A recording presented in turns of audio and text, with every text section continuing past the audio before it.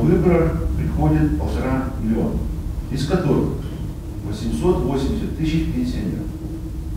440 тысяч, это половина. 440 тысяч это бюджет.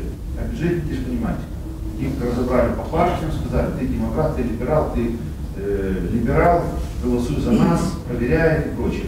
То есть 440 тысяч это бюджет. И только 400 еще тысяч это предприниматели, работники, ну, частных предприятий, государственных предприятий. А самая активная часть населения, миллион людей, вот миллион пятьсот приходит на выборы, а миллион находится за границей.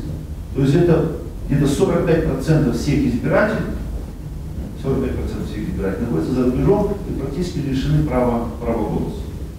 Поэтому, а самая активная часть избирателей находится в Российской Федерации, в странах СНГ, им тем более запрещен значит, э, право голоса, потому что они более склонны к российской политике.